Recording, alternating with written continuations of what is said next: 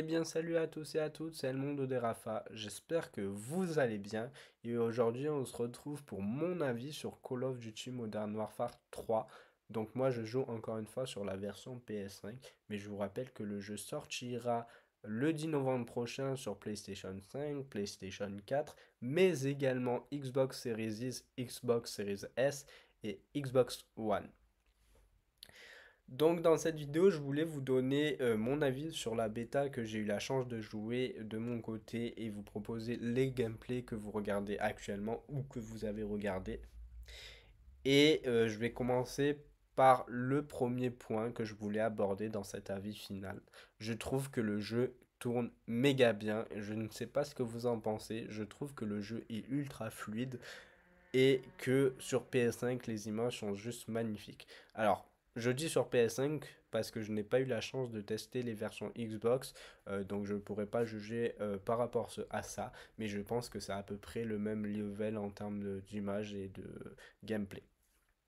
En revanche, j'ai pu voir des, des gameplays sur PS4 et j'avoue que ça commence à se voir que le jeu commence à tirer la langue sur ces consoles de ancienne génération. Mais pour rappel, la PS4 est sortie en novembre 2013, donc euh, alors vous allez regarder cette vidéo, ça fera bientôt que 10 ans que la PS4 est sortie, donc c'est un peu normal que le jeu ait un peu plus de mal à tourner, même si ça reste acceptable, c'est vrai que vous n'aurez pas la même expérience de jeu que j'ai eu sur PS5 ou sur Xbox Series encore une fois.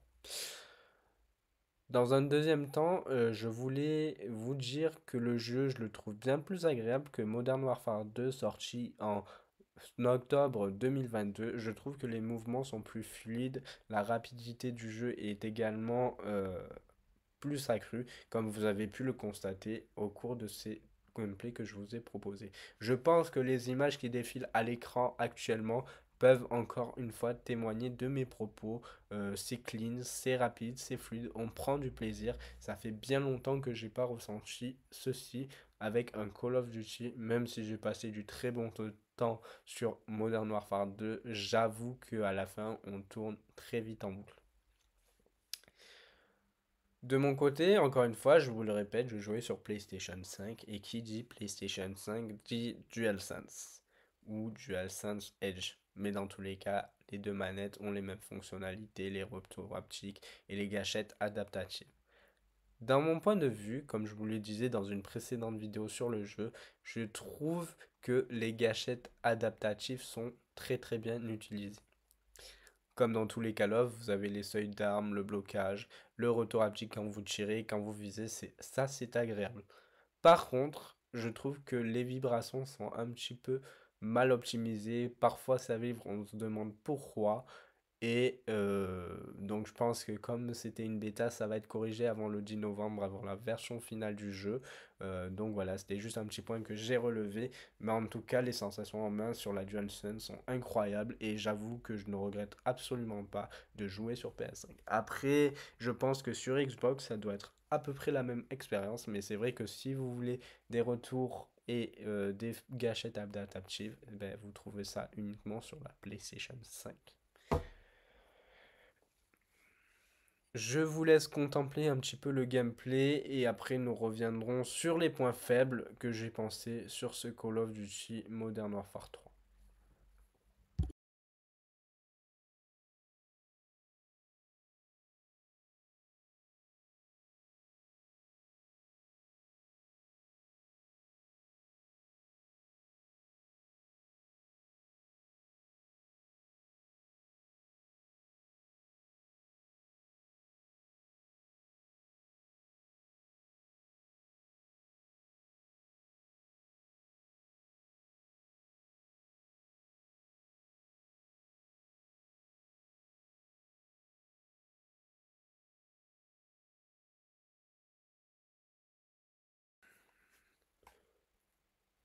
Alors, selon moi, ce Call of Duty Modern Warfare 3 a, à l'heure actuelle, au moment de la bêta, au moment où je vous fais cette euh, voix off, un seul défaut.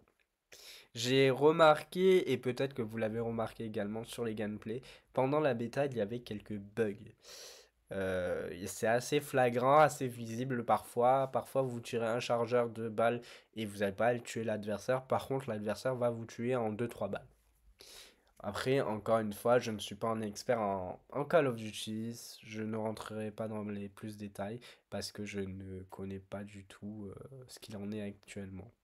C'est pour moi le seul reproche que je préfère à cette bêta, mais comme je vous le dis, on ne peut pas en vouloir aux développeurs. C'est une bêta, le jeu n'est pas fini et je pense que ça sera corrigé avec la version finale qui arrive le 10 novembre prochain. Sinon, tout le reste est ouvert de mon côté et je sais que je prendrai du plaisir à faire le mode histoire, le mode zombie euh, quand le jeu sortira dans sa version finale. Pour les tarifs du jeu, ça reste 80 euros à l'exception de la version Xbox qui seront disponibles Day One dans le Game Pass. J'espère que cette série de vidéos sur Call of Duty Modern Warfare 3 vous aura plu. Et moi, je vous dis à la semaine prochaine pour un tout nouveau concept. Et j'espère que vous serez au rendez-vous parce que ça m'a pris du temps à le tourner. Et j'espère que ça vous plaira. Je n'attends vos commentaires dans les commentaires pour me donner un avis sur le jeu pour ceux qui l'ont testé. Euh, et pour ceux qui aimeraient se l'offrir peut-être, je dis bien peut-être, je vous organiserai un concours pour pouvoir gagner un exemplaire sur PS5 et un exemplaire sur Xbox. Ça, ça reste encore à déterminer. Je vous souhaite une très bonne journée et je vous dis à la prochaine.